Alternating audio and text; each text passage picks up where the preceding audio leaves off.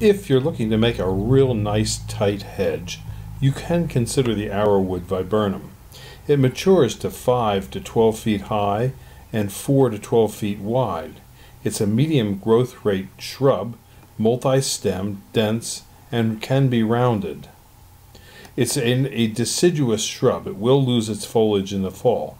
It has nice white flowers in the spring and blueberries in the late summer.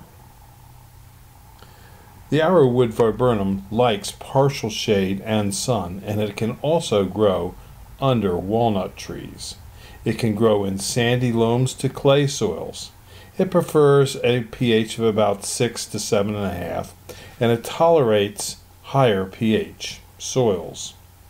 It's, it likes average to wet soils and well drained and poorly soils. It can also be found there as well.